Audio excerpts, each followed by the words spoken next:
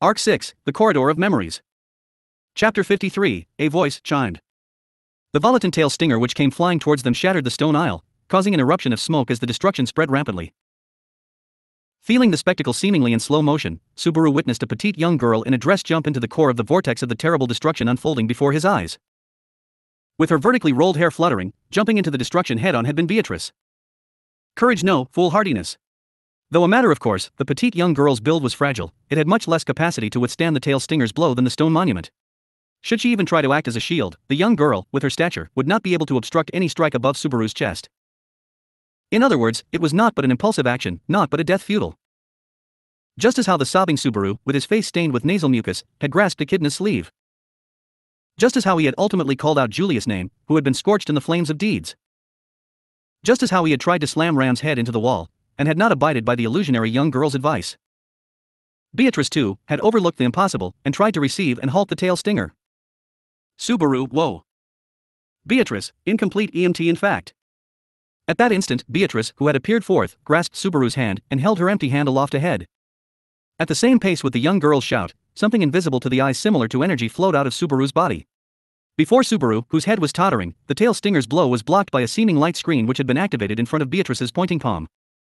The shockwave, which gave one the impression of this being the last thing one gets to see, was blocked by the defensive wall which had Beatrice's palm as its center, and it unrolled the damage onto the environs, seemingly avoiding Subaru and the others. The launch tail stinger did not end with a single blow, and rained upon them continuously. However, all of it was blocked by the shield which had taken the form of the young girl named Beatrice, and led the damage onto their rear. The terrible shock wave blew violently, one of the scattered fragments of the aisle grazed Subaru's cheek. The noise became further distant, in the situation where his field of vision became white, and as he squinted his eyes due to the pain of his cheek, Subaru had his glance robbed by Beatrice's back. The titanic scorpion which had been visible for a single instant, if this was indeed that scorpion's tail stinger which had rained incessantly upon them, then it was a matter of course that it was a mortar which could effortlessly turn a human body to dust. Having it be shielded by a young girl with such a small build, gave Subaru the chance to pick up his life. An instant before, he had been thinking of what unimaginable hell must he endure, having continued to wish for salvation from God. Subaru had no room to be cursing his own misfortune, and close to his awareness, an existence separate from Beatrice or the scorpion had been present in the corner of his field of vision. That was Echidna, who had been dragged into this attack and exposed to the same damage. She had once declared acting separately and tried to part ways with Subaru and Beatrice, but immediately preceding the commencement of the attack, she had been restrained by Subaru and thus dragged into this situation.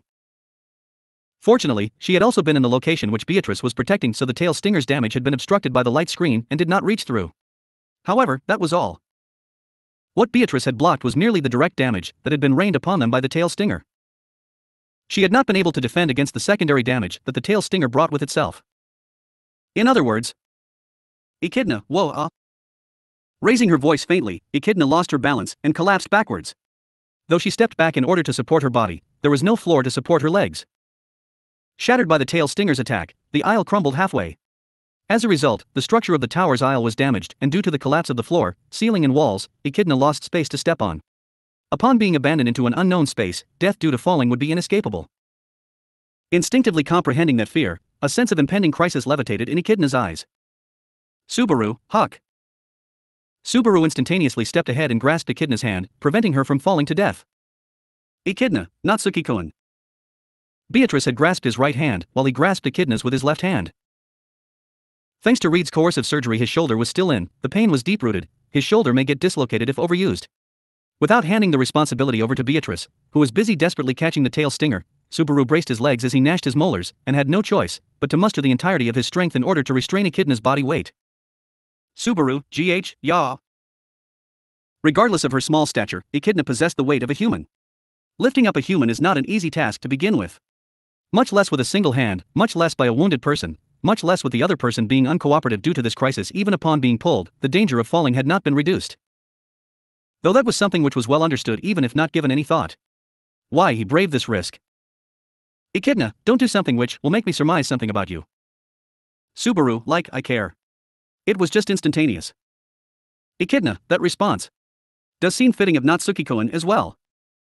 Overlapping the exhausted soliloquy, he refuted Echidna's remarks, whom he had saved reflexively. Though unshapely, she turned her body around and, with the support of Subaru's arm, somehow laid foot upon the crumbled floor. Somehow supporting her actions until the very end, Subaru looked down onto his arm. Letters engraved as wounds, patterns of black speckles covering it which he did know happened when, painful and fierce white scars all over his body remained which had been carved by his own volition. Subaru, it moves better than, what's in the limits? Of my memories? His arms functioning being better than what he remembered, or the countless scratches on them. His physique, which had become slightly stronger, narrowly managed to save Echidna from falling to death. Though his body was too defective and limited for the execution of the Book of the Dead plan. Echidna, somehow I managed to get back up. Beatrice. How are things on your end? Beatrice, about to hit the limit, I suppose. About time. Putting her unfitting emotions somewhere else, Echidna, having climbed up, called out to Beatrice with a grim expression. At her call, Beatrice stiffened her lovely cheeks and responded, and at the very next instant. Bishayan.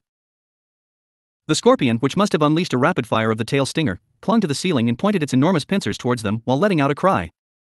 Subaru, Huck.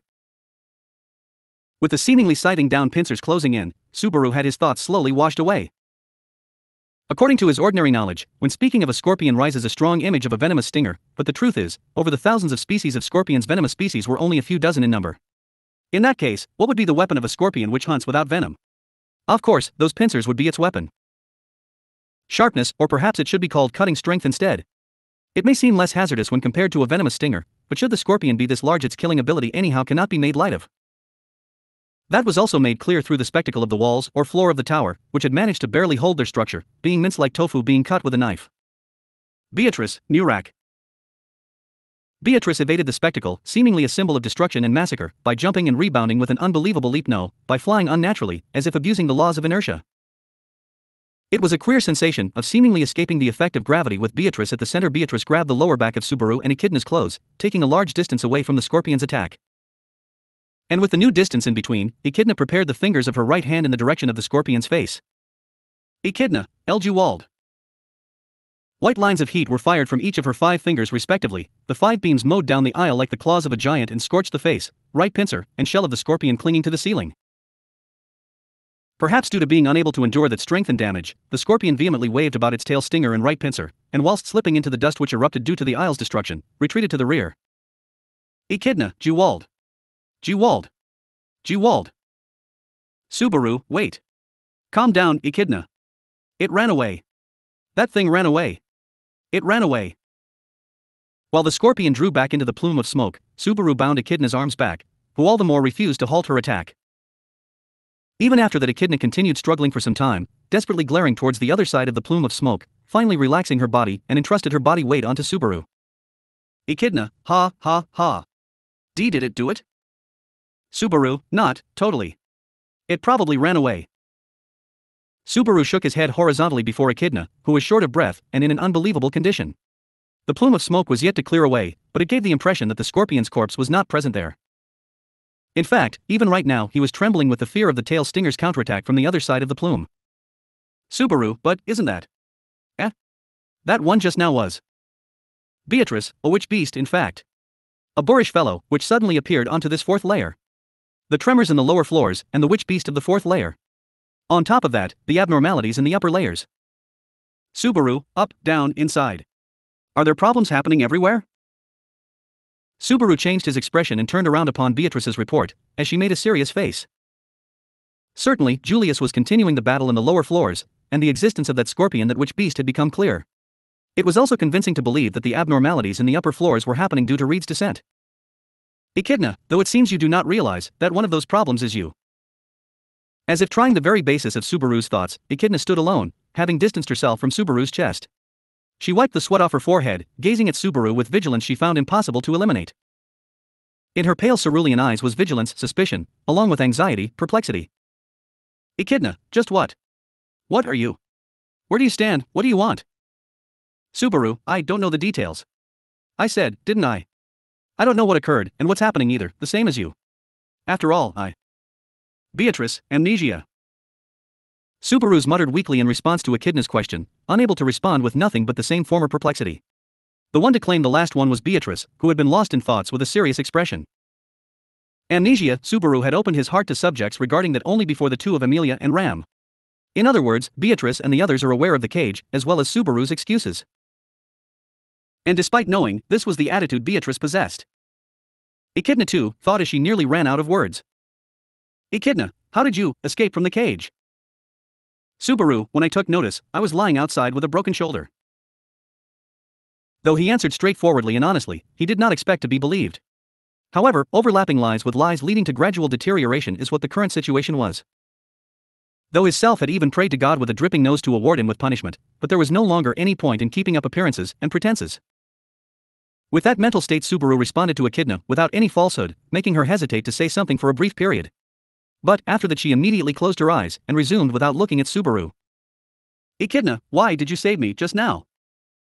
Echidna, had you not offered your hand, I would have unmistakably died. Taking Anna's body with me, it surely would have been a death terribly filled with regrets. As if other human affairs, the question distanced him away by a single step. However, the reason she dared to do that was the same as the reason why she abstained from looking at Subaru's face, eyes. Namely, a last resort to ensure she did not air her judgment due to her emotions. With Echidna's such judgment before him, Subaru pondered. Why had his self offered his hand to Echidna? Was it because Julius had entrusted him in the end? Did those words make Subaru offer his hand? Subaru, it was instantaneous, I don't know. However, shaking his head left and right, Subaru denied that notion. Certainly, Subaru had thought back to Julius' words and moved in order to prevent Echidna from acting separately once. But when her life was actually in danger, the reason why his body moved was not due to such deliberate thinking. He did not know why had his self made such a move. Subaru, it's not like everything needs a reason, you know? It was sudden. Everything was sudden. That's why I. Prepared to despair, Subaru expressed the emotions within him whilst faltering. He thought that he would undoubtedly receive a cold response by Echidna, having made her hear this. Echidna. That might be the true nature of the human known as yourself. Subaru, eh? So spilled out Echidna, relaxing her shoulders having stiffened herself up before his eyes. Upon hearing that Subaru stared in amazement, eaten by the dumbfoundedness. Subaru stood in mute amazement as Echidna shrugged her shoulders upon his gaze. Echidna, it is inevitable that we would want to quarrel here. It would also be foolish to remain here for long and accept the witch beast's second attack. Let's move. I want to unite with Julius. Subaru, I. Beatrice, agreed, in fact. For now, let's get away from this place, I suppose. Echidna and Beatrice indifferently determined their plan, leaving out Subaru, who was at sea. Echidna ascertained the area behind Subaru and Beatrice, and Beatrice tightly grabbed Subaru's hand. Upon that tiny sensation, he looked towards the young girl as Beatrice with a deep nod. Beatrice, do you not remember taking Betty outside as well? Subaru, I'm sorry. I don't know what you're talking about. Beatrice, it is fine, in fact. Hearing the terribly transient emotions of loneliness mixed in Beatrice's voice, Subaru felt as if he had committed the most dreadful crime in this world. But Beatrice shook her head left and right before Subaru, who was bleached with a fear of unknown nature. And concealing herself's lonesome feelings, carved a daring smile upon her lips. Beatrice, even if Subaru has forgotten, it is still present within Betty's heart. It is impossible for what Subaru engraved into Betty's heart to fade away at all, I suppose. That's why, it's fine for now, in fact. Subaru, Beatrice. Beatrice, even if Subaru forgets, Betty will never forget. Betty will always remember. And Betty will also make Subaru remember, I suppose. For that, Betty will do whatever she can, in fact. That had been a response far too dazzling for Natsuki Subaru, who was standing here all alone. Just how many predicaments had she overcome? How many times had she tempered her heart into steel to make a girl this young wield such will? Subaru, ah. He could be saved, and upon that sensation, Subaru held his breath. Spontaneously, a sensation welling up deep within his eyes tried to kill Subaru, as he braved letting that warmth overflow. Beatrice supported that strenuous effort of Subaru's by gripping to his hand without saying a thing. By merely gripping his hand, it proved to be his support. Echidna, it does not seem to be possible to tread the path Natsuki-kun came from due the witch beast's attack just now. Though undeniably dangerous, it seems there is no choice but to utilize the side of the aisle which remains alright, where the witch beast retracted to, and move. Beatrice, Echidna, you too. Echidna, talking about forgiving, not forgiving, doubting, not doubting is unsuitable for this place. Regardless, the suspicions I have cannot be cleared. However, the situation does not allow for that. Creating an order of priorities is an indispensable ability in business. I witnessed that, right by Anna's side. That is why no more arguments were to be had in this place. That must be Echidna's conclusion. Subaru also avoided objecting to Echidna's judgment, who had made compromises and possessed feelings of rejection, and decided to abide by the judgment of the two. There was no change in his feeling of wanting to run away even now. However, he wanted to believe that if he crouched down and had his hands on his head, a scene further befitting of pleading for would await him rather than simply offering his prayers to God. Behind him, the Aisle Subaru came running from was in a terrible state. Receiving the attack by the scorpion's tail stinger as if a catastrophe, most of it had been converted into piles of debris and wreckage, and did not seem like it could be used, just as what Echidna had said. What Beatrice's magical safeguard had protected was only her own and the other two's lives. Even if they tried to go towards Emilia and the others, who were moving separately, or Julius who was fighting in the fifth layer, they had no choice but to advance upon that side of the aisle which the scorpion had retreated towards. Subaru, ugh. Ahead of jumping over the hole due to which Echidna nearly fell to her death, after clearing up the smoke in the part of the aisle her white lines of heat had grilled, a reason for Subaru to spontaneously groan fell over there. It was that witch beast's tail, which had perhaps fallen off from its roots. Echidna, I see, it means there was no counterattack. Its means of attacking splintered off, which is a bit of good news, I guess. Beatrice, that's what it seems, I suppose. Don't fall off the floor, in fact. It's time to jump over, I suppose. Beatrice and Echidna nodded to each other as they looked at the fallen tail, which even had the stinger attached. By appearance, it was overwhelmingly grotesque, but the witch beast had certainly lost its means of long ranged attacks with this. Of course, the circumstance in the lower floors was that countless centaurs clad in flames were surging forth. Just because the danger of that one witch beast had diminished, it could not possibly be said that the hazards present within the entire tower had reduced. Subaru, here. Subaru lightly jumped over the hole while continuing to hold Beatrice. Beatrice's body was light, far too light for any comparison. The fruits of an year's worth of labor which Subaru felt in his own body, which were nowhere to be found in his memories, her lightness was seemingly irrespective of that. Keeping that in the back of his mind, Subaru turned his eyes once again towards the fallen tail which lied ahead of the hole on the aisle. The tail had launched a rapid fire of the tail stinger as if a catastrophe, but its structure was completely different from the scorpion's biological features which Subaru was aware of, to an extent that it could be called a separate article entirely. Though a matter of course, the venom stinger of a scorpion which Subaru knew could not be used for things like shooting and probably couldn't be regenerated either. Above all, evident from the aisle's destroyed condition, it had not been firing the tail stinger as an object. It had been firing power which resembled a stinger in form. Basically, it could alternatively be said that just like Beatrice's light screen and Echidna's white lines of heat, what the scorpion was firing was something akin to magical stingers. Naturally, since it had been utilized as a stinger, it would no longer be able to invoke it after having lost its tail, that is what he wanted to believe. Subaru? Thinking that far, Subaru embraced unease. He had noticed it after observing the fallen tail. That fallen tail had been cut off nearly from what was its root, but the wound's mouth appeared as something unusual. Had it been burned off by Echidna's lines of heat, regardless of cutting strength, there should have been scorch marks remaining on the wound. As a matter of fact, the surrounding part of the aisle which had been struck as well also had such burn marks. However, there were no traces of that on the scorpion's fallen tail, but instead had an awfully clean cross section. Subaru B. Subaru noticed something was strange. Far too late. The tail fallen on the floor which he had kept at the edge of his field of vision, quaked with a start. An instant later, a light burst open there exists a mechanism, named autotomy. A phenomenon primarily witnessed among arthropods and lizards, is often called things like lizard's tail and refers to the action of cutting off a part of one's own body for escaping from foreign enemies. This action is also seen among pincers of crabs, and in other words, the witch beast shaped as a scorpion had perhaps done something similar.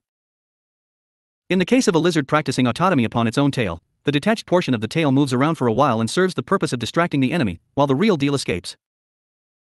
Of course, the tail possesses no such consciousness and only acts reflexively, but it is an example of a species which practices autotomy being capable of such reflex action. Then, would this not be possible as well? Once the prey gets close to the detached tail, it would explode and spread damage, a duty like that of a landmine, and also granting the ability to do so to the amputated part. Subaru, ugh, gh, ugh. He wailed. Whilst spilling out a wail from his throat, slowly and steadily, Subaru dragged his feet. As for why he was dragging them, it was not because of fatigue. The problem was physical. With a large and deep tear in the flesh of his left leg, and in a situation where he continuously bled from that wound, he had no choice but to move that way. And what Subaru was dragging was not his body alone. Enough now.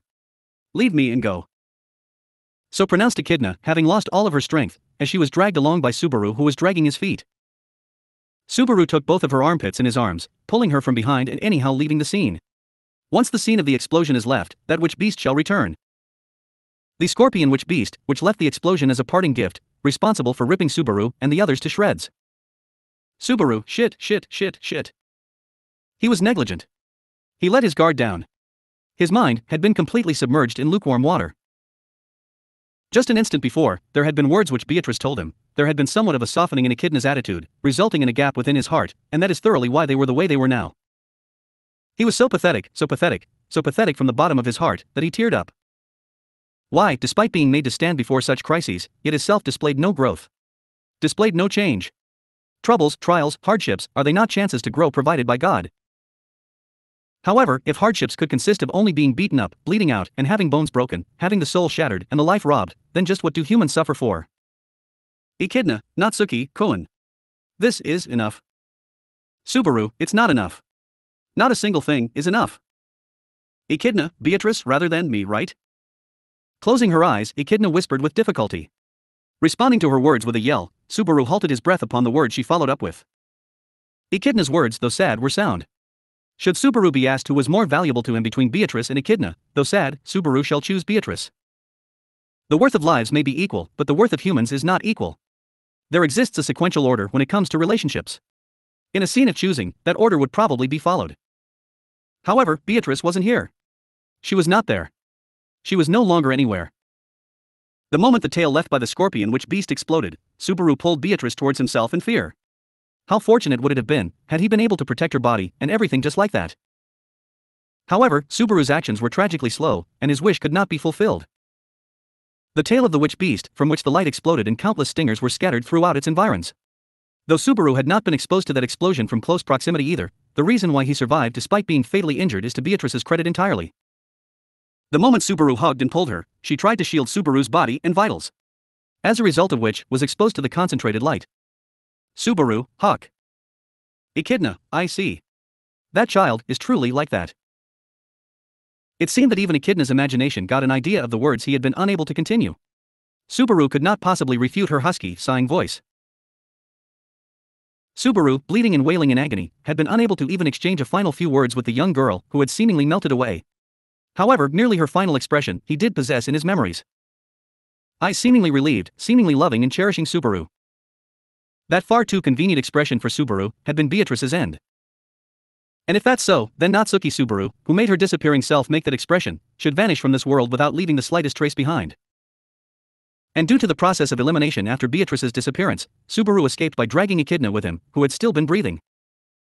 As if for atonement, as if for redemption, or perhaps in an effort to be rightfully punished by the offender and Subaru's such actions were restrained by the feebly breathing Echidna. Telling him that it would be pointless for him to do this, she, who had been so enthused about returning Anastasia's body. That too was a matter of course. Both of her legs had been blown off from the roots. At this point, she had almost stopped bleeding. Pulling the body he felt to be lighter than even Beatrice's, in a state where she had not received any immediate medical attention, what kind of a future must be awaiting her? Subaru ugh a hook. When such thoughts filled his mind, Subaru stumbled upon the debris and collapsed at that very spot. At the same time, Echidna, whom he was dragging along, was also thrown down onto the aisle and she toppled over. Momentarily, merely the wails of two people, seemingly cursing the entire world, echoed through the aisle. Echidna, it hurts.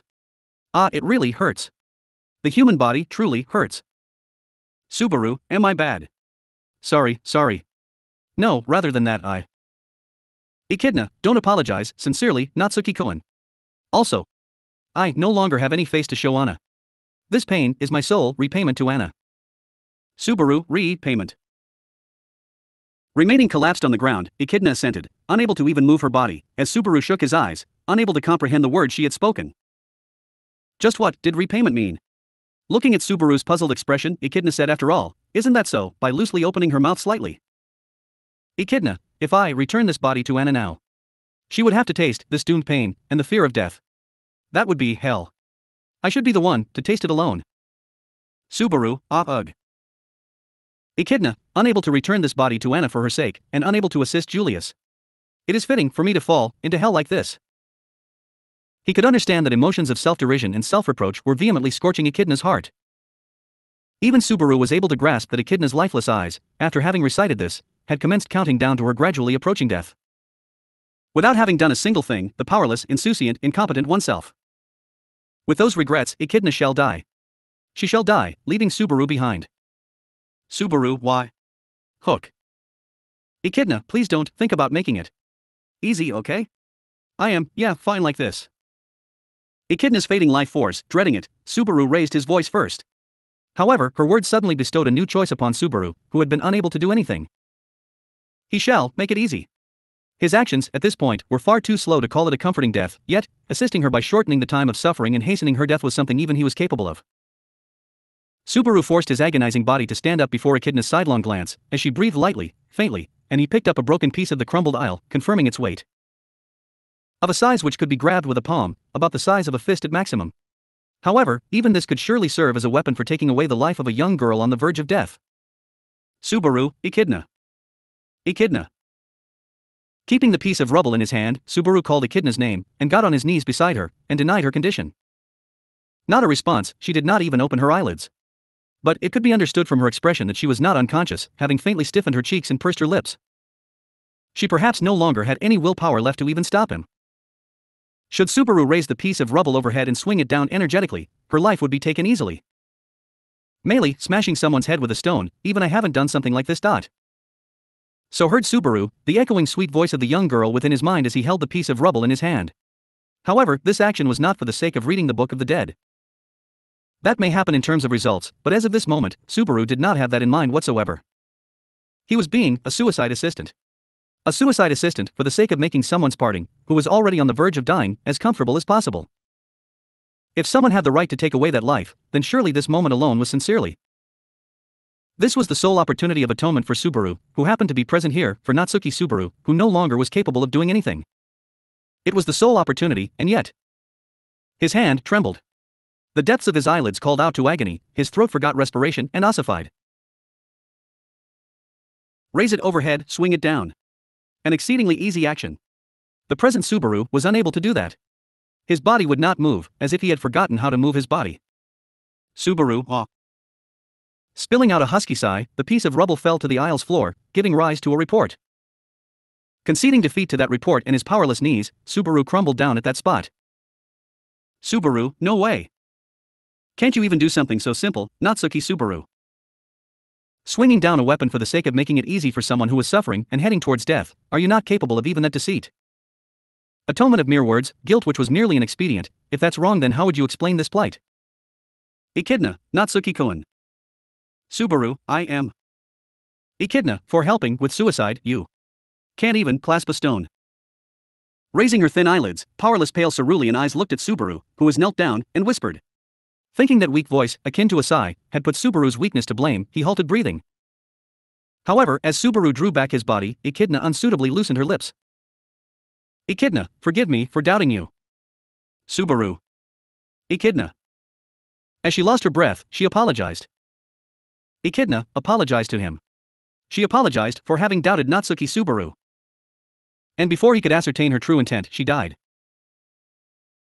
killing Meili and hiding her corpse, acting without saying that he had lost his memories, continuously piling up nothing but others' doubts, escaping out of the ice cage he had been trapped in, unable to fulfill the wish entrusted onto him, protected by the young girl who tried to save his heart, and finally, unable to stain his hands with blood for the sake of the dying young girl, as Subaru knelt down in his own disgrace, Echidna apologized to him and died. Subaru. He wanted to die. He wanted to forget everything that had happened just now and die. He wanted the people all over the world to point their fingers towards Natsuki Subaru, saying that he deserved to die and be sentenced to death penalty. Natsuki Subaru despaired upon oneself that he had committed a sin befitting of that. He despaired. Despair feasted upon and eroded away Natsuki Subaru's heart. Subaru. He could not move. He had no right to move. Nothing good would happen even if he moved. It had been proved. Natsuki Subaru had proved his own incompetence no, calling it incompetence would be rather cute. Instead of that, furthermore, Natsuki Subaru had proved that he was a jinx, a pest, an angel of death. Subaru. Should despair nest into one's chest, kill one's heart, what gets eaten to ruin even before one's life is one's soul. If that happens, then no longer would it remain possible to stand up. No longer would it be possible to fight against anyone. Should he realize that he himself was the genuine source of anguish without being able to defy it whatsoever, it was a natural consequence. I want to disappear. I want to vanish. Should have decided much earlier. Before things turned to this, in this different world. Should have known, must have known before coming to a place like this different world. Why do you trouble other people's hearts by simply existing? There's no way you could ever have the right to solely occupy a part of others' hearts, no matter how small it may be. You filthy wall stain. You, an existence like the dust accumulated in the corner of a room, like the maggots which swarm over a pile of pure garbage, like a scar which never disappears located in an eye catching spot. Natsuki Subaru, why won't you die? Even after dying, all that awaits is redoing. Who decided that? Who made sure that it would continue eternally? If once isn't enough, then die ten times, die a hundred times. Die until you disappear. Die until you vanish from anyone and everyone's memories, until you're no longer able to affect anything at all, until your name, your existence, your vestiges no longer remain in the hearts of anyone. I love you. Shut up. Disappear. Erase me. I love you, I love you, I love you.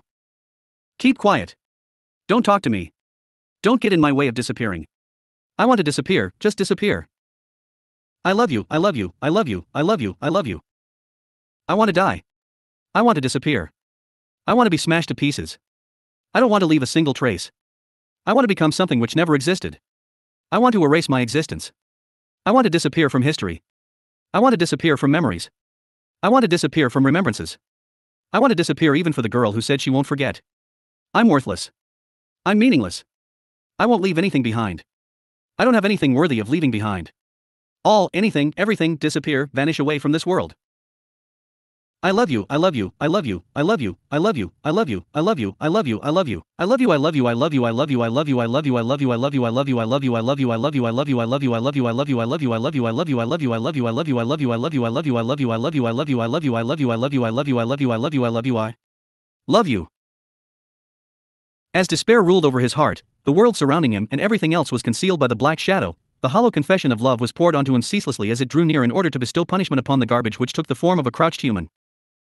Should he be swallowed within it, would he finally disappear? Would he sink within nihility far greater than death? Would he really be abandoned within a convenient place, like a dark space which no eyes could ever reach? If I can die there, then I will. I will. Natsuki Subaru headed towards the despair which seemingly painted out everything. That is as far as you go. A voice chimed. A voice akin to a silver bell, denying the end of this world, chimed. Chapter 54 Re, starting life in a different world from zero. The world was about to be painted in darkness. Sitting down without any strength, the shadow stretched out its countless hands towards the motionless Subaru. Just like spirals or a whirlpool, the pitch black hands were trying to wrap Natsuki Subaru along with his soul into its clutches. The places where he was touched, like melting, like crumbling, like coming apart, he knew that his very being was going to go hollow. But strangely enough, he couldn't feel anything unpleasant at all. Subaru. His body was going to crumble as far as he could see, his very being was going to be overwritten, his soul was going to be churned up. Whilst it was infringing perhaps the greatest blasphemy that could be done to a living thing, Natsuki Subaru's mind was quiet enough to say that he was at peace. Though there too was the effects of having disappointed back then resting heavily in the depths of his heart. But it wasn't just that. Since it was just the shadow, its shadowy tendrils which were steadfast true. It was only this shadow that showed consideration for Natsuki Subaru's emotions, who wanted to vanish and disappear even now. I want to die. I want to vanish. I want to fall apart, I want to be trampled over, I want to be reduced to ashes, leaving nothing behind. Even if I am to revive over and over again, come erase my body down into ashes. This black shadow would grant such a desirable prayer, this black shadow would grant what Subaru had earnestly cried out for. I love you. Just repeating these words ad nauseum was irritating.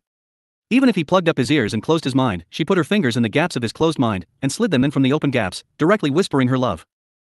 I love you. I love you. I love you. Stop this, I am fed up. No matter how many times you repeat this, I goddamn know already. I don't love you. I don't love myself. I knew about being loved. I knew it all too well. It was his parents. Both his mother and father loved Subaru from the depths of their heart. He knew that. As if he couldn't know. And so, that's why Subaru wanted to disappear. Despite being loved by his parents, he definitely couldn't love himself, which had no worth in being loved. I love you. I love you. I love you. I love you. I love you. Stop it, give me a break. Enough already. No matter how many times you repeat this, you can't get anything more than this. I came to this conclusion a while ago already. I knew it. And despite knowing, I just turned my eyes away from it. The people who were concerned about Subaru for dear life, with such desperation, all of them couldn't be bad people. He knew that. He could not know that. So, Subaru should have just died.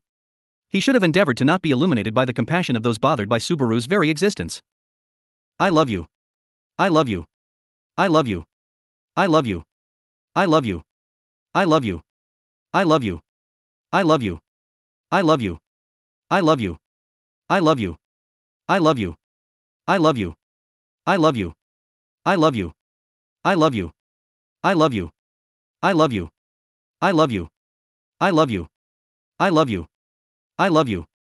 I love you. I love you. Stop it, I said I know. If I endure this torture until the end, will you grant my wish? Will you swallow me and break me and pulverize me, and erase me into oblivion, so that I may never presume on another ever again? If you can do that, if you can do that, I will accept it.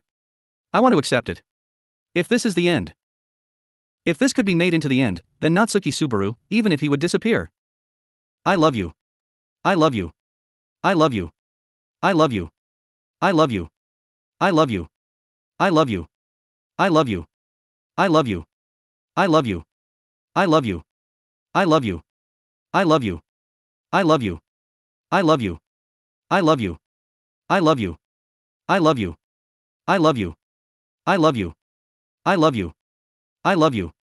I love you. I love you. That's as far as you'll go. I love you. I love you. I love you. I love you.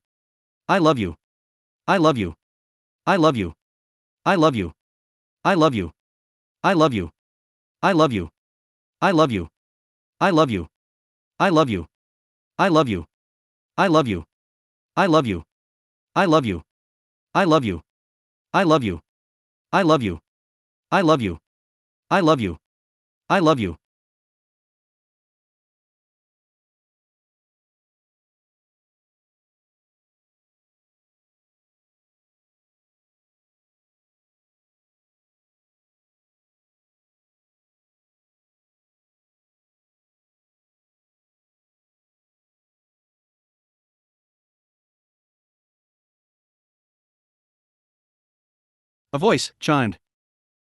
It seemed just like the confession of love that was being whispered endlessly into his ears. A voice reminiscent of a silver bell rose up, piercing through the confessions of love that were painting over Natsuki Subaru's existence and the world itself. It pierced right through and reached down toward Subaru. Subaru. A light gushed out. It pierced right into the pitch black shadowy appendages that had tried to swallow up Subaru. A shockwave broke out, the hand that had received the direct hit snapped off and was torn away, but that was just one from a countless number of them. It was just one amongst thousands that had been cut down, that effort meant absolutely nothing to the hostility coming from that enormous, powerful mass of shadows. But even so, the person who let loose that blow stepped forward with determination, dodging, evading, avoiding the evil arms of the shadow that were launched towards them, with exceptional agility. And then. Subaru. Subaru, Hook. Calling out the Subaru's name as he sat slumped down, the owner of the voice that was ever so reminiscent of a silver bell grasped his feeble hand. Subaru's body was pulled up abruptly, and she took him away from that spot with all of her strength. As if to say she wouldn't let them do that, the shadow stretched out its arms, blocking their front and rear, trying to block off both their path forwards and their path of escape. However, even with that obstacle in front of their eyes, her legs went forwards without stopping. Ria. One hand gripping Subaru's own, sticking out her free hand, a dazzling light was born there. And immediately afterwards, a beautiful crystal of ice appeared, shining brightly, it was the very same kind as that of the ice cage which had kept Subaru confined. It was a mesmerizing, valiant riposte of ice. She smashed down the pitch black tendrils that had expanded so to make a wall in front of them and forcibly wrenched open their path. Witnessing the instant of the shadow being washed away, Subaru, who had harbored the impression that the strange shadow would swallow everything in its path, could only feel that the heart which he thought would remain forever unbeating had started to tremble again. And as his then frozen heart started to stir, his eyes also turned to face the beautiful face right beside him. The long silver hair of the girl glittered like the moonlight as she held Subaru's hand whilst looking straight in front, taking him along, running away. Though her survival was also confirmed, in his heart, he was not excited by this. Quite the opposite, in fact, in the depths of Subaru's skull, he felt like something was going to crack. Of course, he couldn't be delighted by his survival. The people he had made sure were alive Julius, Beatrice, Echidna, he had let them all die. Though he hadn't seen the end with his own eyes, he can only imagine that things went south with what happened when he left Julius behind down with the witch beasts and Reid. Beatrice was blown to smithereens protecting Subaru, and he couldn't even ease Echidna's suffering whilst she was on the brink of death. Natsuki Subaru was pestilence personified. Death was intrinsic to his very being. As his own death was shaped into nothingness, correspondingly, he imposed that misfortune upon everyone around him. He was such a being that couldn't help but conjure to mind such a ridiculous metaphor, its poster child ensconced in such a pitch black fate.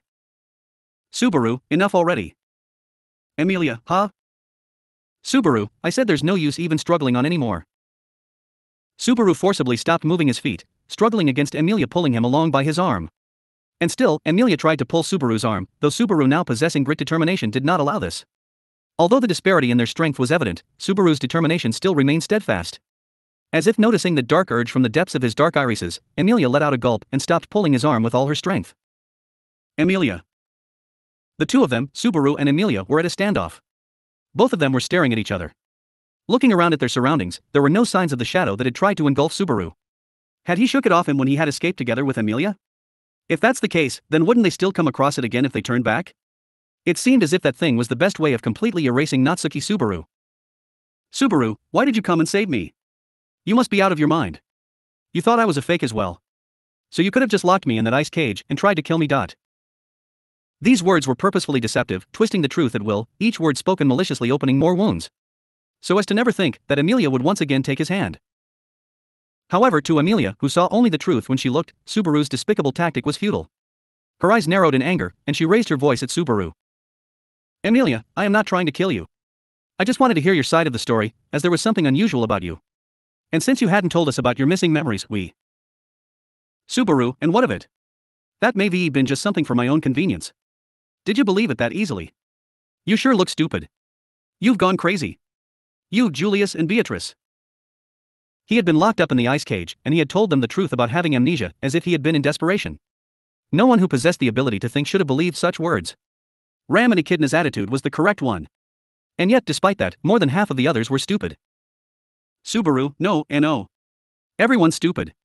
In the end, with things like this, in the end, even Echidna apologized to me. I don't get it. Emilia, in the end, Echidna. Subaru, what happened? Are Echidna and the others? Emilia began to ask that question to Subaru, who was muttering and groaning with his face covered by his own hands.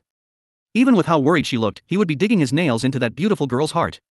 It was because of that that Subaru was letting all of his own emotional scars as if made of glass. Even her lifeblood had bled out, leaving behind only an expression of fragility, a feeling that keeping those existences which matter from feeling pain would be a blessing, achieving only such a heart-wrenching, desolate desire, in the figure of a young girl who'd lost her life. As the thoughts revived back in his mind, Subaru let out a scream in an attempt to let the wounds he had in the depths of his heart spread open. Subaru dead. Echidna is dead. Both of her legs were blown off, and she bled out in pain, in short, she died in anguish. Beatrice as well. Emilia, Hook. Subaru, she even protected me. What an absurd thing, cutting off its own tail. If only I'd noticed earlier, but I didn't, and so she died. She said she would forget me. Even if Subaru had forgotten, Beatrice would not forget. Beatrice had firmly declared that she would help Subaru regain his memories without fail. But she had perished straight after she had said that. It was all bark and no bite. Words are wind. And immediately after she had spoken this, she had kept Subaru away from death and with a face full of relief, she had vanished from this world. Subaru, if she was going to disappear like that, I should have stopped her. I took her out? I took her away? Whatever, how it happened doesn't matter. At any rate, if I took her from anywhere other than here, I never should have. If I hadn't, then. Then things wouldn't have ended with her meeting that fate, vanishing with that expression on her face. Subaru, that's right, that Julius guy too. Surely, around about now, he must already be, in a place with so many scary witch beasts, and with that Reid guy inconveniencing him, and then being all like, go please. What idiocy. Dot. Everyone here is an idiot. What on earth were they expecting? Entreating, taking back, having apologized for doubting him, what on earth were they spouting out? What would become of their request? What would the meaning be in taking them back? Wasn't it natural for them to doubt him? Natsuki Subaru was here because he betrayed everything that hung over him. Survive and have some peace and quiet alone, since that was unbearable, he wanted to disappear and die. He was the most idiotic, stupid, utterly helpless, he couldn't save anything. If those weren't Natsuki Subaru, then just what would they be? Emilia, me and Subaru met for the first time at a place called the Loot House in the royal capital.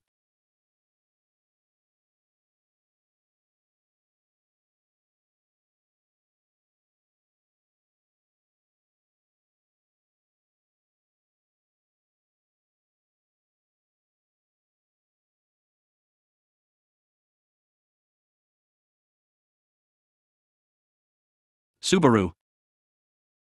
Subaru had sunk to a bottomless swamp of self-blame and self-doubt with no escape, he couldn't even move his own body. Emilia's sudden confession had made Subaru's eardrums throb her words came out as if it was bringing fond, precious, nostalgic memories back to her. Subaru. Ha! Subaru was dumbfounded, all he could do was let go of his breath in his lungs when he received those words with no context so suddenly. In no way was this meant to scorn or mock Emilia's sudden actions. Subaru's consciousness simply couldn't keep up to that degree, and was genuinely stunned into silence. And yet, Emilia ignored his reaction, proffering down a finger as she allowed more memories to resurface. Emilia, back then, felt Felt-chan stole a really important insignia from me. I was in a mad rush with Puck to try and get it back. And then, after we pursued her, we fought against Meili's Wani-san. We were in grave danger, but Reinhard came to save us. And after that, just as I breathed a sigh of relief, Meili's Wani-san went straight for me. Subaru saved me from that dot. Subaru. Emilia, that was when I first met with Subaru. Don't you remember it? Hearing her question, Subaru shook his head. Even though she had recited those memories in detail, he had no knowledge of even a small bit of what she had said.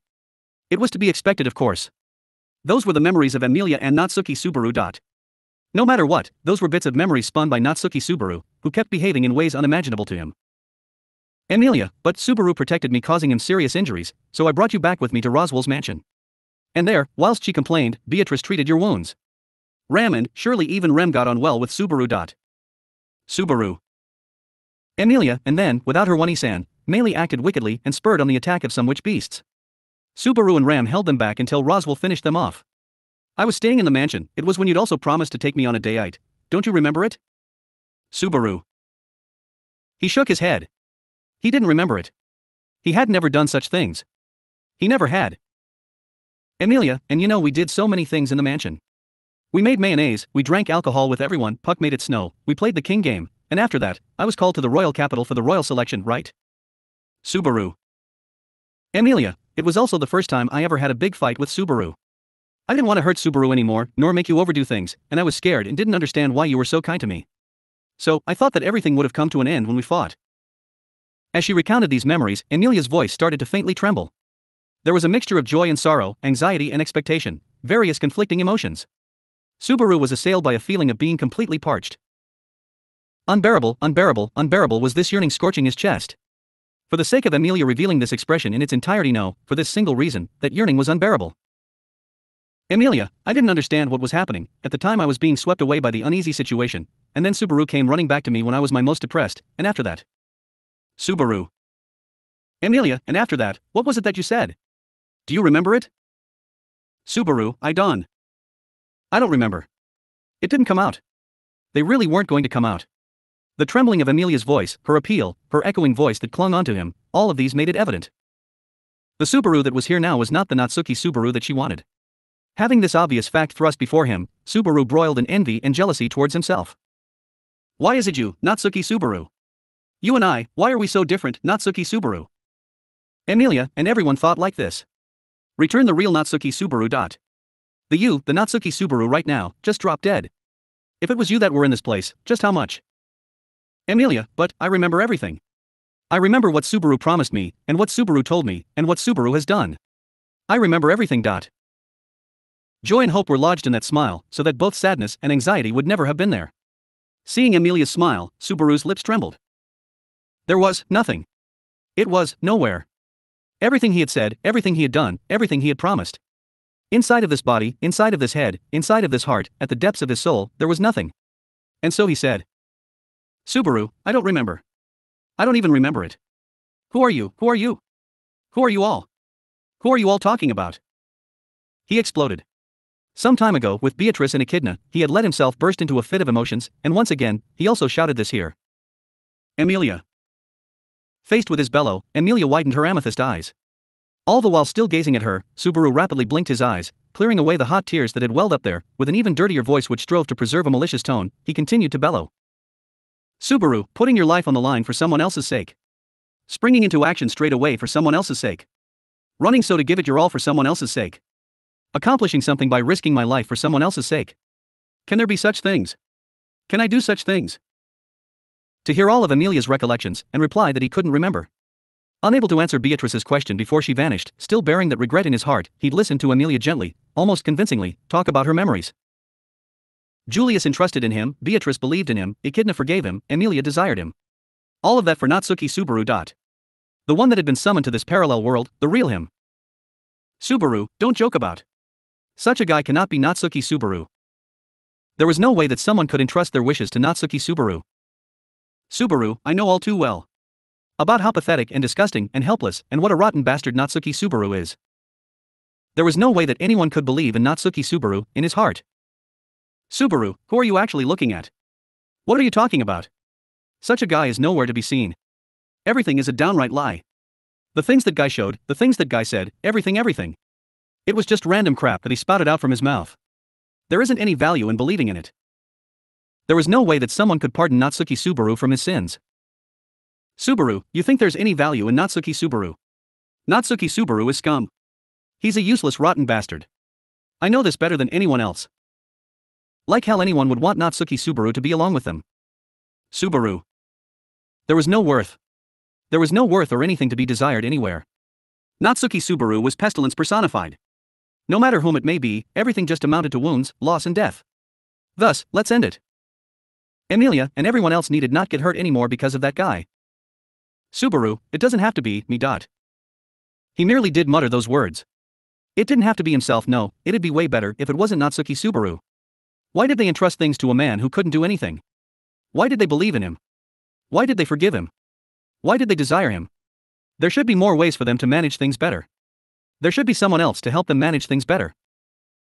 Even if that someone was the Natsuki Subaru that everyone wished for, he was nowhere to be found anymore. Natsuki Subaru was a pretense that he never possessed from the beginning. A vain being. Subaru, someone like me, just disregard and toss me away. Someone smarter than me, someone stronger than me will turn up. I am. He said that he couldn't do anything.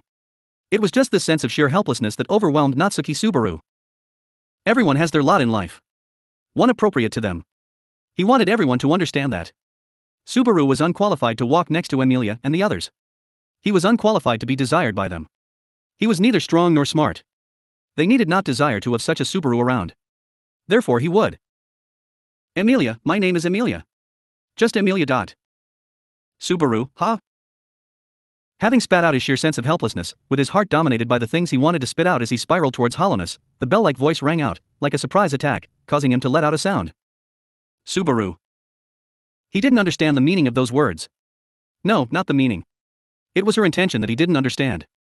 Lifting his head up, Subaru looked at the person who had introduced herself as Emilia standing right in front of him. She had her hand on top of her ample chest. Within her big, round, amethyst eyes, Subaru could see his own figure reflected, his breath was taken away by their shimmer. Emilia continued on with her speech right in front of Subaru. Emilia, there are so many things I have to tell you, and so many things I have to ask you. Many, many, many things. But right now I have to hear just one thing. Dot. Subaru. Emilia, Julius, Beatrice, and Echidna. And now, I've taken you by the hand, by running away together. I wanted to protect you at any cost. I didn't want you to die, so by doing that. Emilia closed her eyes and plunged into thought, full of emotion. After a few seconds, she broke off her speech. He could see that various emotions were coursing through her chest. These even included her feelings of anxiety for her companions who weren't here. Emilia's cherry blossom lips quivered with those emotions fresh in her mind.